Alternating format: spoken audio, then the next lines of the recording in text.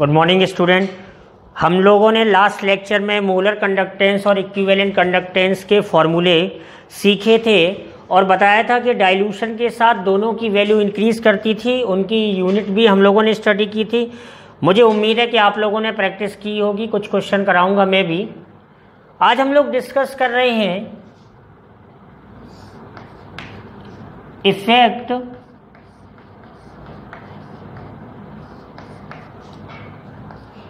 of concentration on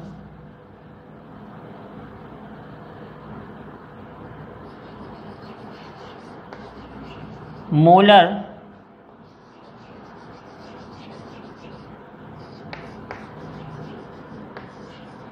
conductance effect of concentration on molar conductance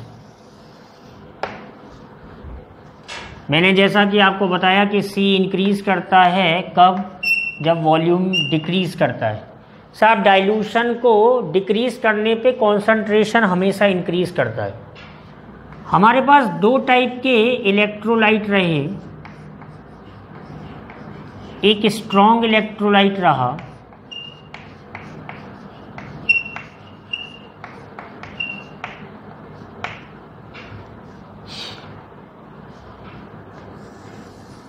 strong electrolyte के case में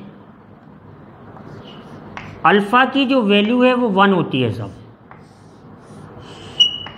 समझो बात को। अल्फ़ा की वैल्यू क्या होती है? वन होती है मतलब at each concentration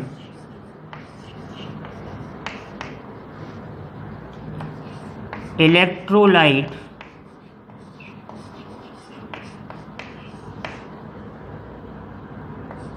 is completely ionized.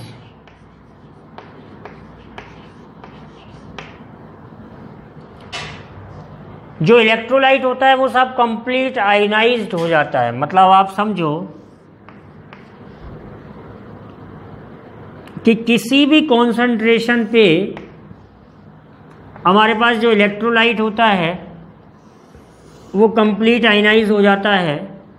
मैं बात कर सकता हूँ स्ट्रॉन्ग इलेक्ट्रोलाइट में, जैसे मेरे पास एन है। के है। हाइड्रोक्लोरिक एसिड है। सल्फ्यूरिक एसिड है। एच है।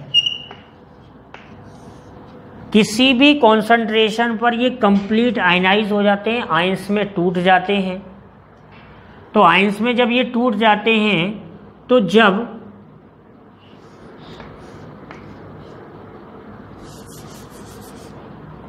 एट इन्फनाइट डाइल्यूशन,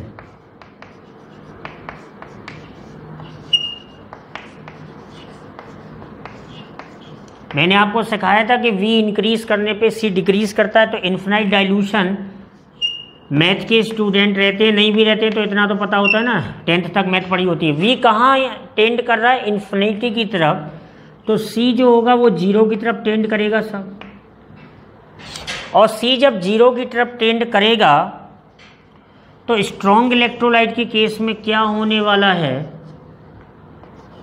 कि मोलर कंडक्टेंस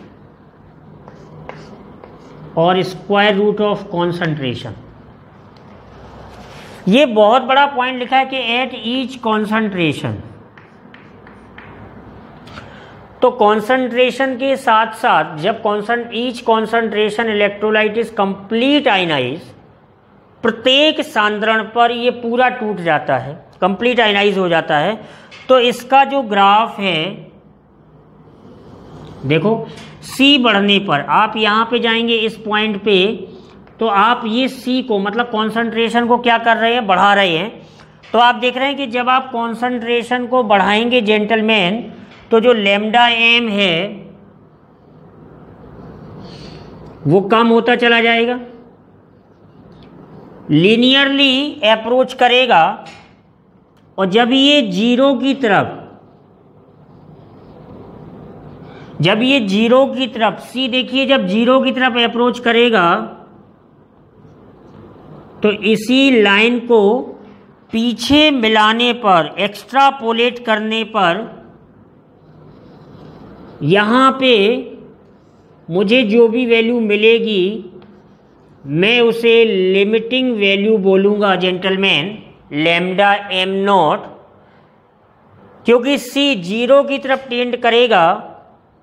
जब सी ज़ीरो की तरफ़ टेंड करेगा तो ये ये पीछे बढ़ाने पर यहाँ कहीं इसको कट करेगा, क्योंकि this graph is of linear nature gentleman इस ग्राफ का जो नेचर है, वो कैसा है? लीनियर है स्ट्रेट लाइन है, क्योंकि स्ट्रॉन्ग इलेक्ट्रोलाइट के लिए कॉन्सेंट्रेशन कम होने पर आयनाइजेशन बढ़ता है, लेकिन किसी भी कॉन्सेंट्रेशन पे वो पूरा टूट जाता है। तो लेमडा एम नॉट जो वैल्यू है, वो किस पे मिली? सी टेंडिंग टू ज़ीरो तो मैं क्या बोल सकता हूँ कि at infinite dilution at infinite dilution limiting value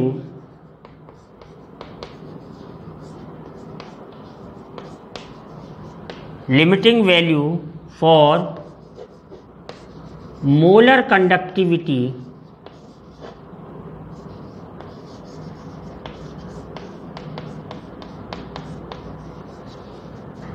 is equals to lambda M nought आप सोच रहे होंगे, यहाँ नॉट क्यों लगा? क्योंकि सी ज़ीरो हो गया।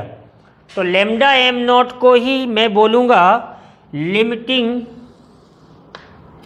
value for molar conductivity ये स्ट्रॉन्ग इलेक्ट्रोलाइट के लिए मतलब इस तरह के जो ग्राफ होंगे, वो मैंने एग्ज़ाम्पल लिख दिए हैं कि इस तरह N K C L hydrochloric acid nitric acid या सल्फ्यूरिक एसिड के लिए मैं इस तरह के प्लॉट की बात कर सकता हूँ।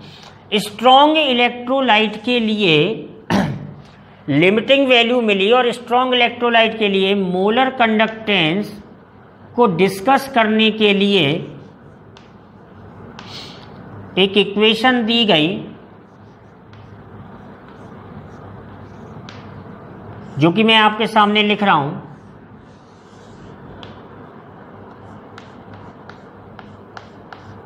सबसे पहले इस इक्वेशन का मीनिंग समझिए कि लेमडा एम एट सी इसको मैं बोलूँगा molar conductance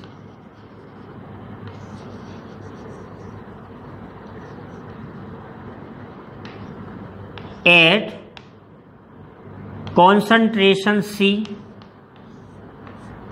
C concentration पे मतलब जैसे मान चलो कोई क्वेश्चन में दिया गया zero point one molar concentration तो सी कॉन्सेंट्रेशन किसी भी कॉन्सेंट्रेशन पे जो मोलर कंडक्टेंस होगी, वो लेमडा एम एट सी होगी। लेमडा एम एट नॉट क्या होगा? मोलर कंडक्टेंस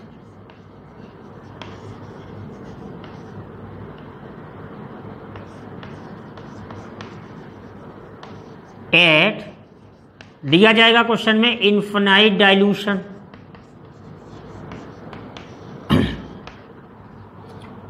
ए क्या है? प्री कॉन्सेंट्रेशन कांस्टेंट है। Pre concentration constant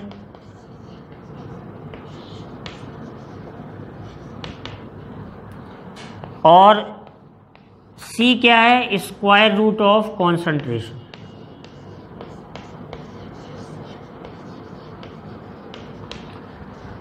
square root of concentration तो आप देख पा रहे हैं कि जो लेमडा एम एट सी है आप बात को समझें थोड़ा सा, कि molar conductance at concentration C is equals to lambda M naught minus A root C gentleman this equation this equation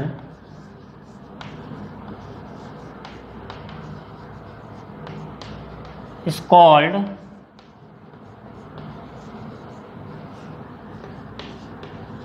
Debye Huckel on Sager equation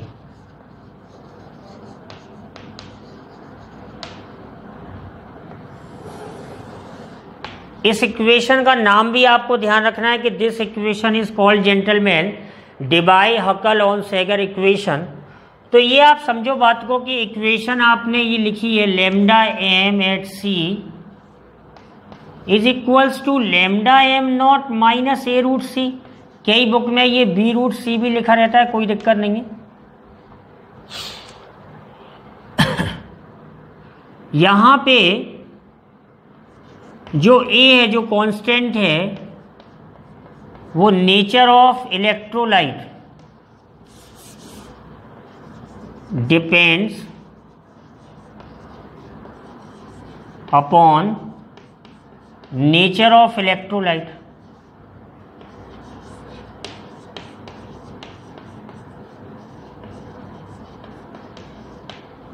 nature of electrolyte पे depend करेगा। तो आप देख पा रहे हैं कि अगर मैं देखूँ इसको, कि lambda M at C is equals to lambda M nought minus A root C तो अगर मैं इसे कंपेयर करूँ, y is equals to M X plus C से y इज़ इक्वल्स टू मैं इसको ऐसे लिखूं,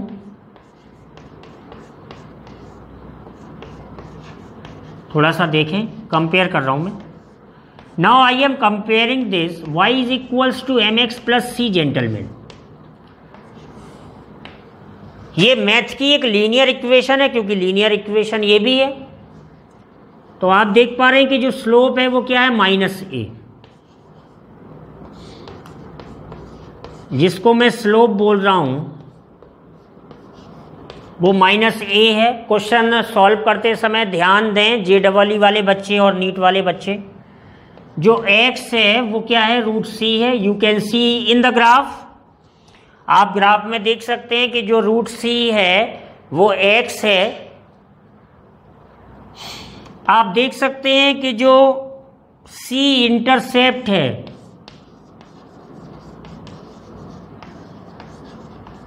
वो इंटरसेप्ट लेमडा एम नॉट है जेंटलमैन तो ये इंटरसेप्ट है और वाई आप देख सकते हैं कि क्या है?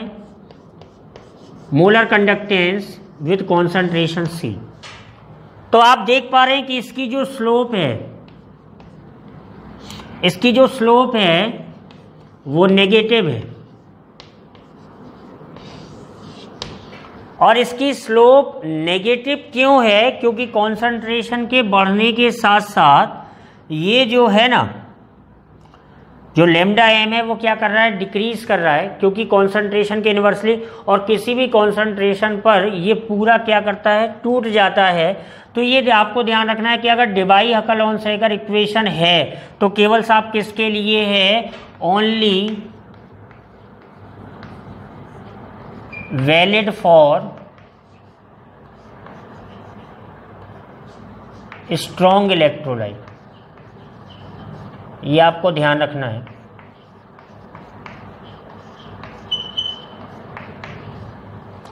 बड़ी सिंपल सी चर्चा है कि अगर मैं लिमिटिंग वैल्यू को कैलकुलेट कर सकता हूँ तो केवल साहब किसके लिए कर सकता हूँ? स्ट्रॉन्ग इलेक्ट्रोलाइट के लिए। वीक इलेक्ट्रोलाइट के लिए मैं लिमिटिंग वैल्यू कैलकुलेट नहीं कर सकता हूँ। क्यों? देखो, मैं सिखाता हूँ।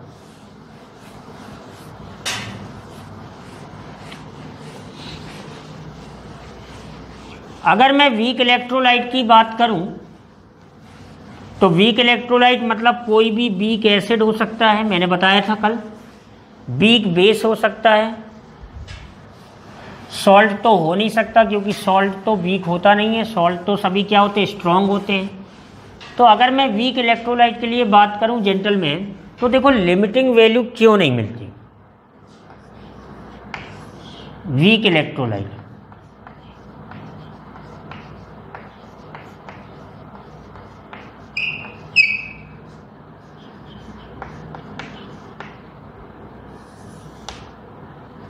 वीक इलेक्ट्रोलाइट मैं ले सकता हूँ। एसिटिक एसिड ले सकता हूँ। अमोनियम हाइड्रोक्साइड ले सकता हूँ N H four O H एक और कोई वीक बेस ले सकता हूँ C six H five N H two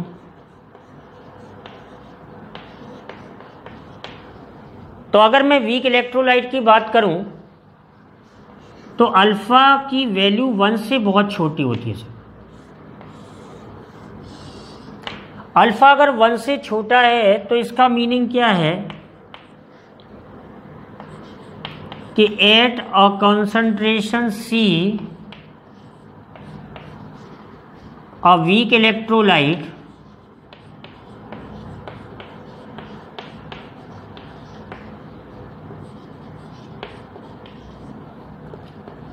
is partially ionized.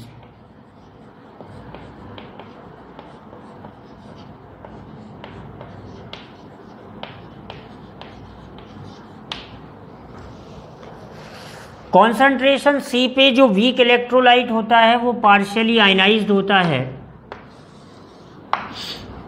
और जब पार्शियली आयनाइज होता है या मैं बोल सकता हूँ फीबली आयनाइज होता है तो वी इंक्रीज करने पे मतलब सी को डिक्रीज करने पे ये जो आयनाइजेशन है, वो इंक्रीज करता है रैपिडली तो जब ये रैपिडली इंक्रीज करता है तो अगर मैं lambda M versus root C का ग्राफ बनाऊँ।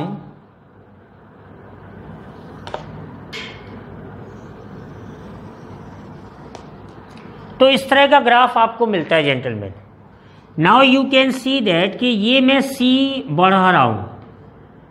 तो सी बढ़ा रहा हूँ तो आप देख सकते हैं कि जो लेमडा एम है वो डिक्रीज कर रहा है। लेकिन जैसे ही मैं सी ज़ीरो की तरफ़ गया साहब ये मैं ज़ीरो की तरफ़ जा रहा हूँ। तो आप देख रहे हो कि ये तेज़ी से बढ़ेगा, लेकिन इसको एक्स्ट्रा पोलेट करने पे ये कभी इस वाई एक्सिस को साफ़ टच नहीं करेगा। मतलब इसमें लिमिटिंग वैल्यू नहीं मिल रही है। आप देख सकते हैं कि ये जो प्लॉट है, वो तेज़ी से रैपिडली क्या कर रहा है? इंक्रीज कर रहा है। But lambda M nought is not found in case of weak electrolyte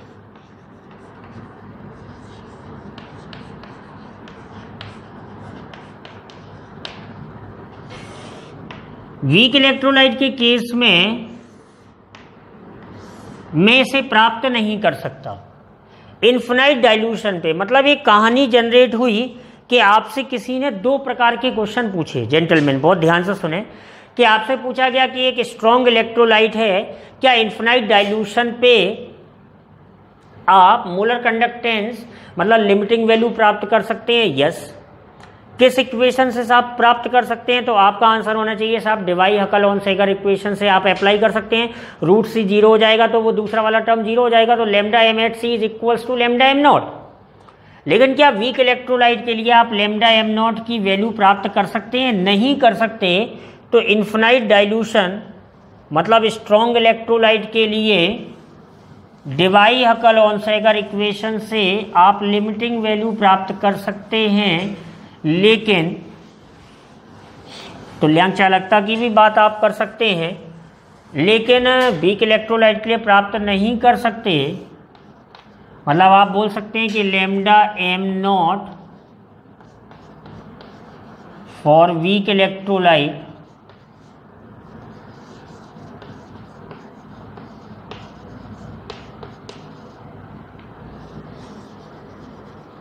can not be obtained from the curve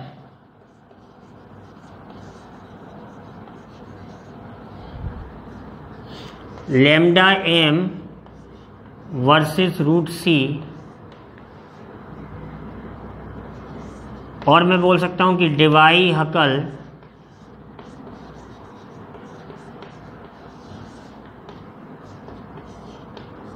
Onsager equation.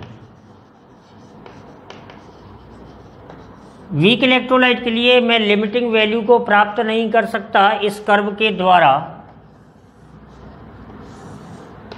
तो क्वेश्चन जनरेट होता है कि फिर मैं कैसे इस वैल्यू को प्राप्त कर सकता हूँ? तो लेमडा एम नॉट को प्राप्त करने के लिए इन्फिनाइट डाइल्यूशन को लेमडा एम नॉट को प्राप्त करने के लिए कॉलराउस लॉ डिस्कस किया गया एक्सप्लेन किया गया। तो अगर हमारे पास वीक इलेक्ट्रोलाइट है और इन्फिनाइट डाइल्यूशन पे, उसके लिए मोलर कंडक्टेंस या इक्विवेलेंट कंडक्टेंस को कैलकुलेट करना है जेंटलमैन तो मुझे कॉलराउस लॉ को फॉलो करना पड़ेगा। तो अभी ये effect of concentration on molar conductance आपने सीखा स्ट्रॉन्ग इलेक्ट्रोलाइट और वीक इलेक्ट्रोलाइट के लिए। हम मोलर कंडक्टेंस इन्फिनाइट डाइल्यूशन को डिस्कस करेंगे with the help of Kohlrausch law कैसे कैलकुलेशन करते हैं, ये भी सिखाएँगे क्वेश्चन करेंगे। तब तक आप इसको तैयार करिएगा।